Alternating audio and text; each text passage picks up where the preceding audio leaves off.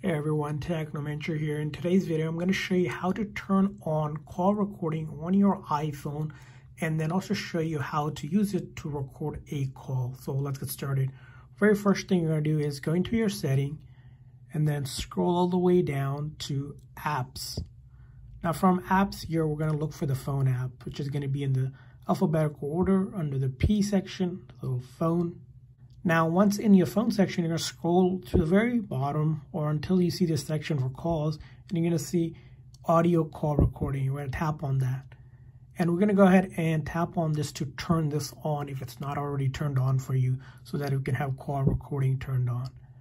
Now, with this setting turned on and verified, we can make a call and then record a call. So in order to do this, let's go and open up our phone app and I'm going to go ahead and make a call here. So let's go ahead and make a call. And in order to record the call, first we need the person to pick up the actual call. So as you can see here, the person has picked up the call.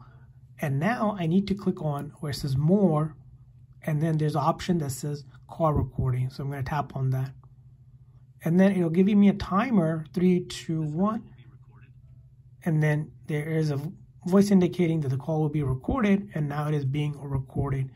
And once you're ready to stop the call recording or end the call, you can either stop the recording or end the call and that will automatically basically save the call recording to your notes app. So you can go back into your notes and see the call recording with that person's name and then you can go ahead and play it back and then also see a transcription of that call as well.